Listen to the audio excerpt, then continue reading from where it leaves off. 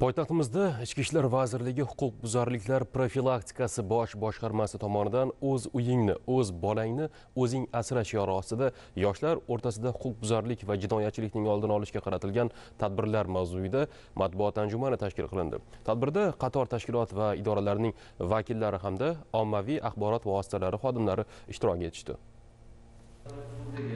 Tadbirda mamlakatimiz ichki ishlar organlari huquqbuzarliklar profilaktikasi xodimlari tomonidan so'nggi yillarda mazkur yo'nalishda amalga oshirilayotgan ishlar to'g'risida batafsil ma'lumot berildi. Aholining barcha qatlamlari ayniqsa yosh avlodda huquqbuzarlik va jinoyatchilikka nisbatan murosasizlik munosabatini shakllantirish yoshlarning huquqiy ongi va madaniyatini yuksaltirish ularni qonunga itoatkorlik ruhida tarbiyalash dolzarb vazifa bo'lib turganligi ichki ishlar organlari faoliyatida ushbu masalaga katta e'tibor qaratilayotgani alohida ta'kidlab o'tildi. Yoshlarga oid davlat siyosati to'g'risidagi qonunda ham ichki ishlar organlarining bu boradagi bir qator vazifalar belgilangan bo'lib ushbu yo'nalishda mutasaddi tashkilotlar bilan hamkorlikda muayyan ishlar amalga oshirilmoqda. Respublikamizning barcha tuman va shaharlardagi ichki ishlar bo'limlarida yoshlar masalalari bo'yicha boshliq o'rinbosarlari lavozimlari kiritildi. Yoshlarning intellektual va ijodiy salohiyatini rivojlantirishga qaratilgan chora tadbirlar belgilanib izchil amalga oshirilyapti. Ana shular natijasida yoshlar o'rtasida jinoyatchilikka nisbatan murosasizlik muhiti shakllanmoqda. Ikki ming o'n to'qqizinchi yilda yoshlar tomonidan sodir etilgan jinoyatlar soni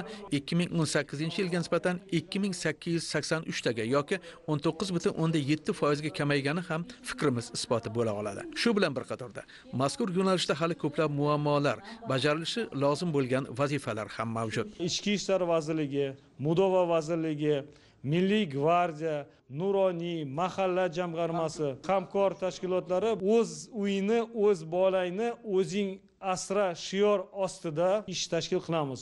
Alohida qo'shma qaror ishlab chiqilgan. Shu qaror asosida konsepsiya va ish rejasi tasdiqlangan. Barcha viloyatlarda seminarlarni o'tkazib asosiy maqsad va vazifalarni tushuntiramiz. Qayd etilgandek insonning huquq va manfaatlari ustuvorligini ta'minlash bugun olib borilayotgan barcha islohot va o'zgarishlarning bosh maqsadidir. Bu ezgu g'oyani hayotimizga keng joriy etish yosh avlodni vatanga muhabbat va sadoqat ruhida tarbiyalash qo'llash barchamizning burchimizdir. Tadbir davomida soha rahbarlari va xodimlari bloger va jurnalistlar tomonidan berilgan savollarga batafsil javob qaytardilar.